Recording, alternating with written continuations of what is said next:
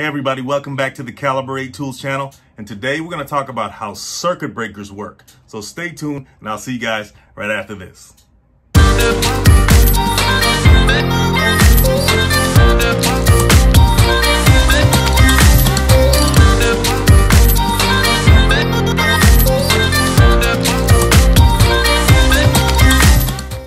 Circuit breakers are probably only thought about when the lights go out because of a power outage, a short circuit, or an overload. But make no mistake about it, these devices are responsible for protecting us from all the electrical and fire hazards we just witnessed. But how exactly do circuit breakers work? We know they click on and off, but how do they work exactly? Here's a 20 or 15 amp circuit breaker that you'd find in a residential electrical panel box Let's open it up and explore the mechanics of how circuit breakers protect you and your property from going up in flames. But first, we have to remove these rivets here. This one has about three rivets we have to remove first, so let's go ahead and do that.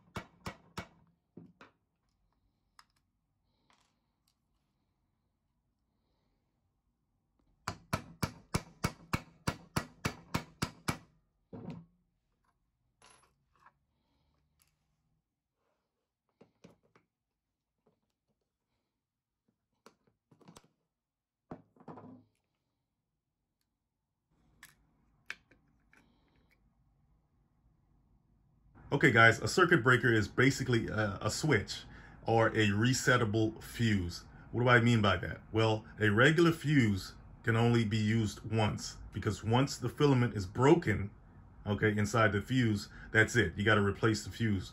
With a circuit breaker, once it's stripped, you can reset it again and use it as many times as you need to.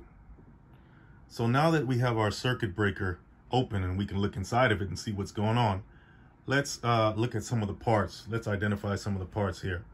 Okay, so this is the switch right here.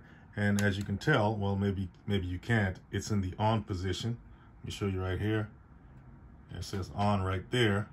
And if it was in the off position, this would happen right here. Let me turn it off. Now it's in the off position. Okay. And when it's in the off position, the contacts are separated, right? So the circuit is broken. But let's put it back in the on position. There you go. Now the circuit is closed. All right. So that's the switch right here. So you have two terminals. You have this terminal, which is the bottom terminal, and then you have this terminal over here. Okay. This terminal receives the hot wire from the transformer on the power pole outside and the current comes from there enters this terminal, and if the circuit's closed or the switch is on, that current comes in through here, travels all the way through these wires and parts, and comes out here because the circuit is closed. This connection is closed right here, and it goes into your house. Now, this type of breaker is what you would call a thermal magnetic circuit breaker because it operates on two principles, heat and electromagnetism. So the thermal or heat-based part of the circuit breaker is this bimetallic strip right here, okay? Now, a bimetallic strip, it consists of two different metals in one strip, okay? These two different metals expand at different rates when they're heated up, in this case by electrical current. And because the two metals have different expansion rates when heated up, it'll bend in a certain direction. In other words, it'll bend this way, okay? When it bends this way, it releases the catch right here, right? And this causes this to fly out and it'll pull this moving contact away from this stationary contact, this terminal right here, and the circuit will be broken. Now the bimetallic strip is for when the electrical current exceeds the rating of the breaker. In other words, the heat from the, the current or the overcurrent is enough to bend the strip away from this catch here and, you know, causing the breaker to trip, you know, opening the circuit. Now I'm going to demonstrate how the breaker is tripped by pushing this bimetallic strip this way releasing the catch here and opening the circuit here. This moving contact will open, okay?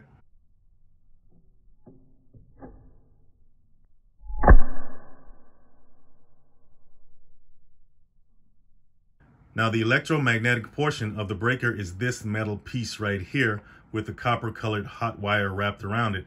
Let me bring it a little closer so you can see that. See how the wire wraps around it? See that? In there. Now that essentially is an electromagnet. When you wrap wire around metal and run a current through the wire, you have an electromagnet. When the current gets too high, in this case, or exceeds the rating of the breaker, it produces enough magnetizing force to pull down this metal piece, okay, and trip the breaker, opening the circuit, similar to how the bimetallic principle worked with the heat or thermal trigger. So the electromagnetic portion of the breaker is there to handle very high levels of current passing through the circuit, mainly short circuits.